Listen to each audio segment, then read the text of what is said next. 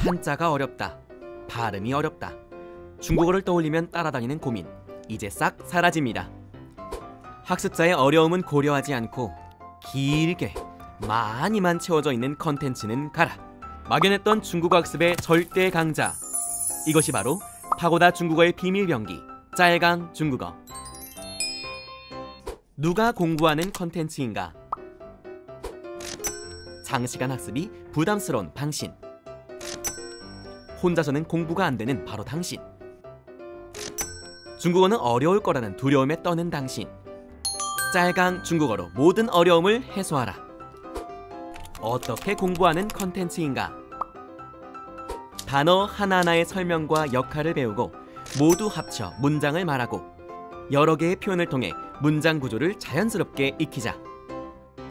10개의 문형이 녹아있는 100개의 문장만 알아도 중국어 들리고 내 입으로 나온다.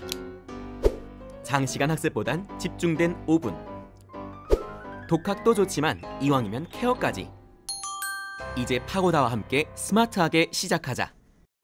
짧고 강한 짤강 중국어.